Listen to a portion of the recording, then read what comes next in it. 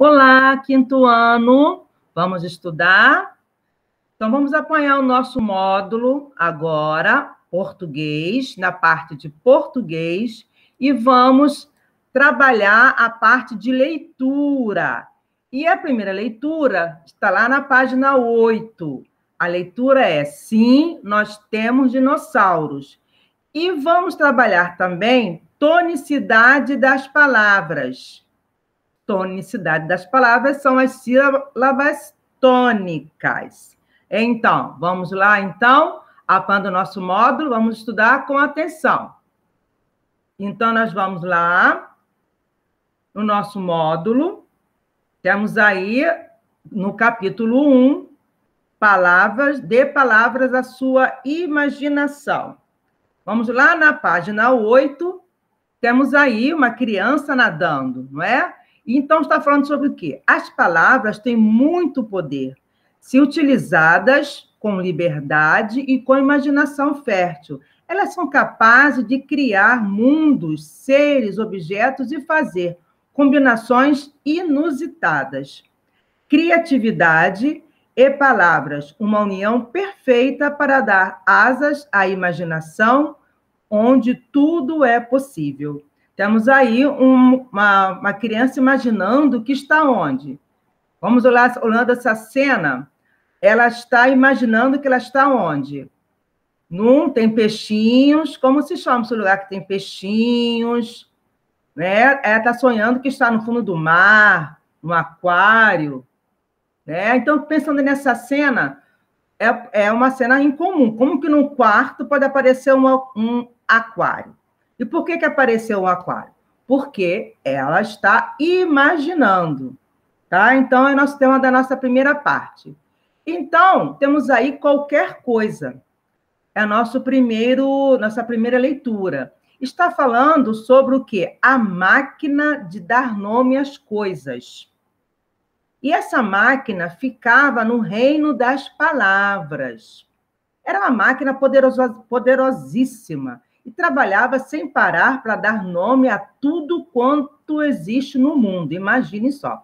Era assim, de um lado, uma fita enorme de coisas com no... sem nomes, esperando para entrar na máquina. Do outro lado, cada coisa já saía nomeada, batizada, identificada, pronta para ser lembrada, falada e usada. A máquina de dar nomes às coisas escolhia o nome na hora. Coisa redonda era bola. Gostosura marrom era chocolate. Fruta pretinha era jabuticaba e amora também. Coisa gelada e colorida era sorvete. Bichinho pisca-pisca era pirilampo, ou como nós chamamos de vagalume. E assim por diante. Tinha dias que a tal máquina amanhecia romântica e só inventava nomes, assim, benzinho, saudade, ternura, arco-íris, beija-flor. Nos dias em que estava mal-humorada, lá vinham tabefe, pontapé, bandido, estupidez ou coisas piores ainda. Às vezes ela misturava os nomes e era um desastre. Como no dia que ela inventou borbonhoca e minholeta. Os dois nomes se estranharam, entraram de novo para a máquina. Ela sacudiu, sacudiu e afinal saíram de novo. Um procurou logo um buraco na terra para se esconder, e o outro saiu voando, todo apressado, como convém a uma minhoca e uma borboleta. Aí nós estamos aí. Essa, esse texto é da professora escritora Maria Martinez. Então, nós estamos na página 12 do nosso módulo 1. Então, está perguntando o que acharam da máquina da história que nós lemos. Aí vem a primeira pergunta na interpretação escrita. O nome da máquina do texto se liga à função que ela tinha? Ah, o nome dela combinava com a função da máquina. Como era o nome da máquina? Ah, vamos ver se vocês vão acertar. É a máquina que dava nome aos seres. Então, temos aí. Agora, vocês dariam outro nome para a máquina? A máquina do texto, número 2, vamos lá para saber atenção. A máquina do texto, às vezes, misturava os nomes e era um desastre. Vocês leram, né? Por exemplo, quando ela inventou as borbonhoca e mioleta. Como essas palavras foram criadas? Borbonhoca e mioleta veio da junção de que animais eram esses? Vamos ver. Ela misturou o quê? Borbonhoca com mioleta. ela misturou borboleta com minhoca e minhoca com, com borboleta. Ela trocou os pedaços misturando os animais. Na página 13, temos lá, invente uma palavra maluca. Vocês vão pegar, então, duas palavras e inventar outros nomes também, fazer igual a máquina de dar nomes fez. Ok? Vamos usar bem a imaginação. Vamos botar uma palavra. Vocês conseguirem achar? Quanto mais palavras vocês criarem, melhor vai ser para a imaginação de vocês. Tá bom? Então, número 3. No número 4, nós estamos. Escreva o nome que a máquina de dar nome às coisas deu a cada um dos elementos a seguir. Primeiro, ela deu o quê? A bola, que era redonda. Depois, ela deu chocolate, deu nome. Depois, o que era gelado colorido deu o nome de quê? Sorvete. E, por último, nós chamamos de pirilampo ou vagalume. Agora, quando escreva os nomes no número 5, abaixo nos quadros seguintes, de acordo com o que a máquina sentia quando inventou. Quando ela estava de bem com a vida, boazinha, que não que ela, que ela inventava. Quando ela estava assim com muita raiva, ela inventava que nomes?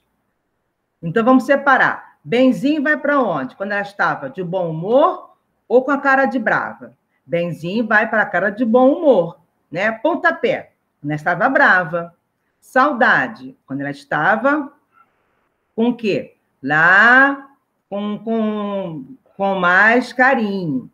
Então, vamos separar. Itabefe, ah, ela estava invocada. Ternura, do lado que ela estava com carinho. Bandido, quando ela estava com raiva. Estupidez, quando estava com raiva. Arco-íris, quando ela estava de bom humor. E beija-flor, quando ela estava de bom humor. Então, vamos separar de acordo com os nomes, quando a máquina estava de bom humor e quando a máquina estava enfesada, ok? Preste bem atenção que a temporada vocês vão encontrar com nomes compostos e, e com nomes separados, ok? Vamos para a página seguinte, então. Página 14. Está lá na questão 6. Por que algumas palavras do quadro da, da atividade anterior estão relacionadas a algo romântico? Por quê, gente? O que vocês acham? Então, vamos lá. Devemos tentar manter sempre vivendo valores. O bom humor. Por quê? Porque faz bem tanto para quem dá, quem está de bom humor, quanto para quem também recebe. Né? Então, palavras carinhosas, ternura, benzinho, são muito melhor de falar do que é, estupidez, pontapé. Né? Então, vamos falar sempre coisas boas, é, para ter, ter uma melhor convivência. Agora, no 7, releia o nome da máquina apresentada lá no texto. Por que o nome dela foi todo escrito com hífen? Vocês sabem por quê? Porque várias palavras formaram apenas um nome. Como é o nome da máquina? Máquina de fazer nomes. Então, ela recebeu um nome completo, um nome com mais de uma palavra. Por isso que se usou o hífen. Agora, na questão 8. O conto que você leu é um trecho de um conto, uma história contada por um narrador que apresenta fatos ocorridos com um ou mais personagens, que vão determinar um lugar e um tempo. Chamamos de conto. Então, todo conto tem um narrador que vai contar a história, tem os personagens, é, fala onde que se passou a história, no caso, se passou numa floresta, quem eram os personagens. Então, então o narrador sempre está, ou ele aparece, ele aparece, ou ele só conta. No caso, ele foi apenas um narrador, só contou a história. Onde se passa essa história? Vamos ver, onde é que se passou? Vamos voltar lá à página, vamos perceber que ela se passava na força das palavras, não é? Agora, que relação existe entre o nome do lugar onde se passa a história e a função da máquina. Se ela era de dar nomes, tem tudo a ver com reino das palavras, né? Dar nomes, então, quando, nós damos os nomes, nós usamos o quê? Palavras, não é verdade? Agora, letra C. Pela leitura do trecho do conto, por que, que é trecho? Trecho é porque o conto é maior. Foi tirado, lembra que a tia Cristina já falou? Foi tirado uma, um pedaço de um texto maior, que nós chamamos de trecho. Então, pela leitura do trecho do conto, é possível saber quando a história aconteceu? Fala a data? Não. A história aconteceu num, num, num determinado tempo, não se fala exatamente quando, quando que aconteceu. Então, a resposta é não. Agora, embaixo, quando vocês prestem atenção, está falando o que é conto, tá? Então, conto é uma narrativa fictícia, quer dizer o quê? Não existe, sai da imaginação do, da, da, da autora, no caso, da Martinez, que apresenta o narrador. Quem que é o narrador? O narrador é quem narra, quem conta os fatos. Tem os personagens, que são aqueles que, que praticam a ação na história. Tem um tempo, quando os fatos aconteceram, e o espaço, que onde que aconteceu? No caso, aconteceu no reino das palavras. Nos contos há poucos personagens. Além disso, o tempo e o espaço nem sempre são especificados. No caso desse conto aí, nós sabemos que aconteceu no lugar, que foi no reino das palavras. Agora, o tempo quando aconteceu, não fica bem explicado. Então, essa é uma das características do, do conto. São poucos personagens e nem sempre a história, o, o tempo e a, o espaço fica bem especificado. Tá? Então, nós tem, encerramos aqui a parte de leitura e interpretação, ok?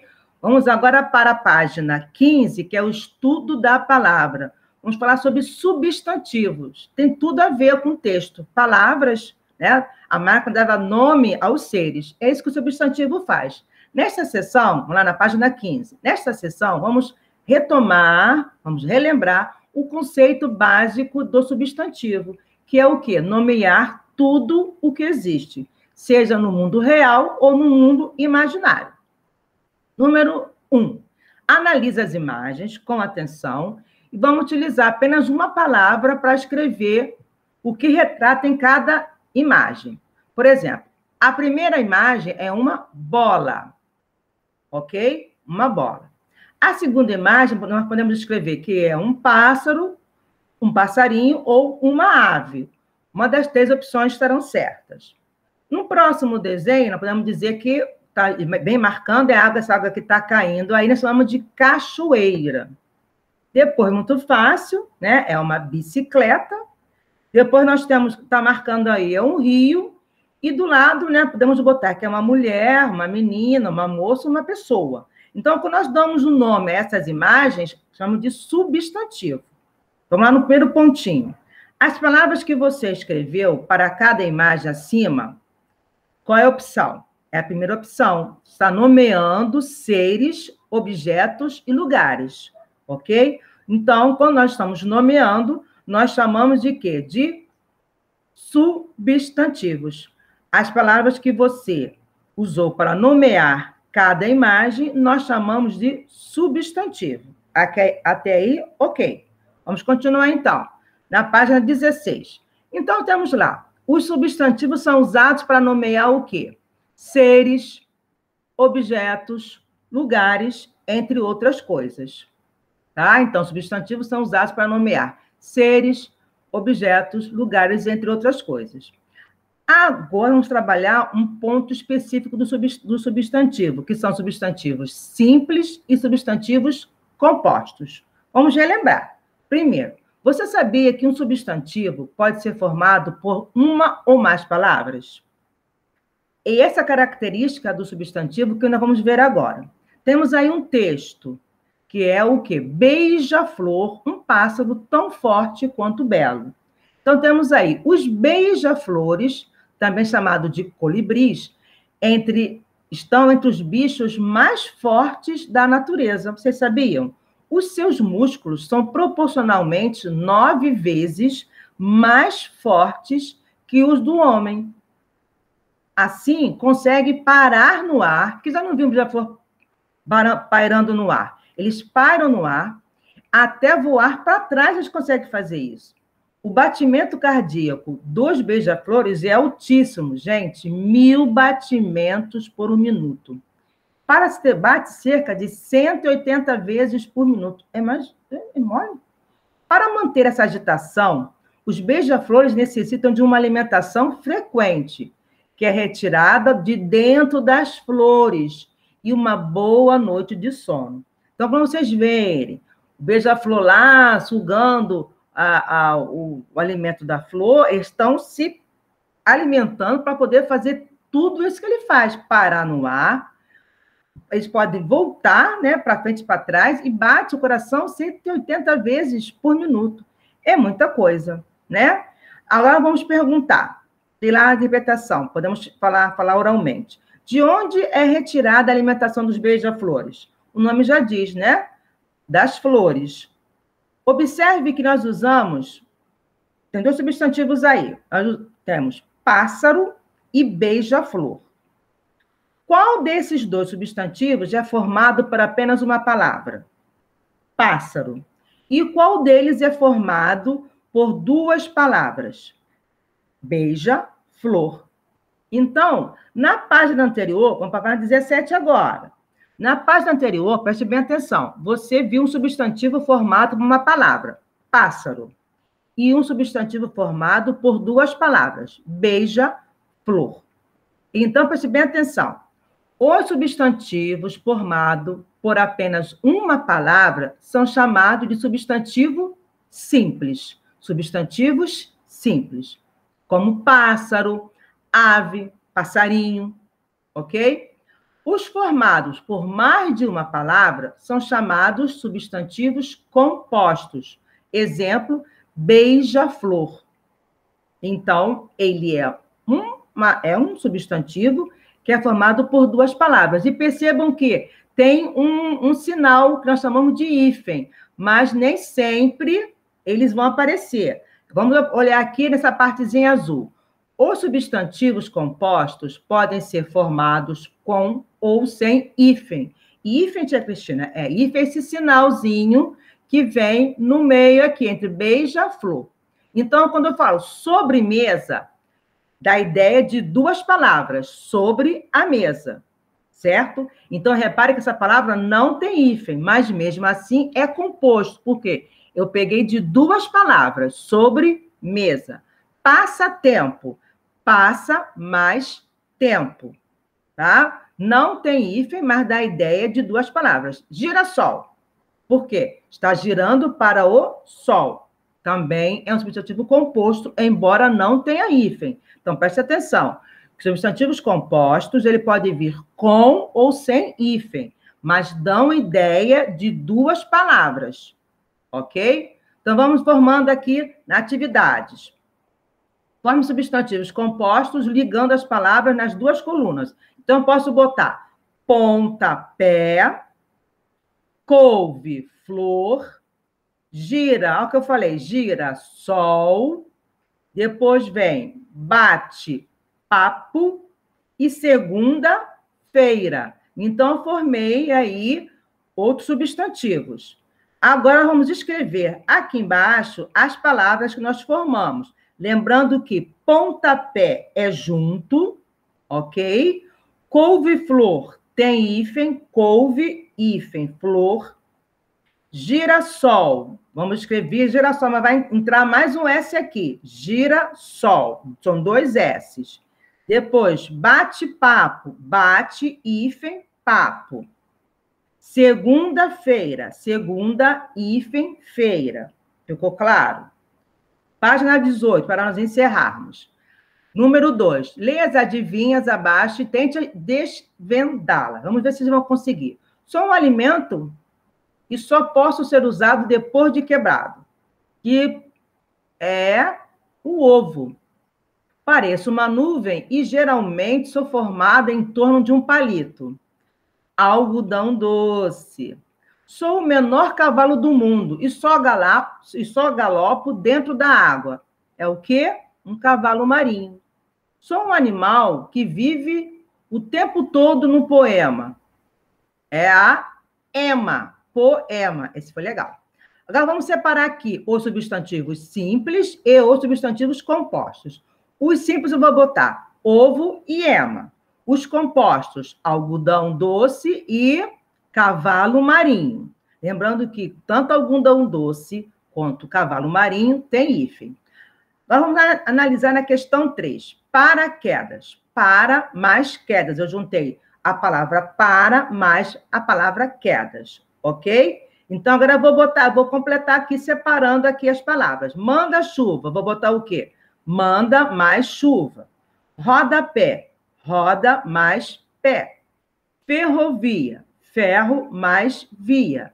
Madrepérola, madre mais pérola. Ficou claro? Então, nós trabalhamos hoje a questão dos substantivos simples e compostos, tá? E a leitura sobre usando a imaginação, no mundo da imaginação. Dê palavras à sua imaginação. Ok, quinto ano? Ok, minha turminha do quarto? Então, beijos, beijos. Até nossa próxima aula. Tchau, tchau.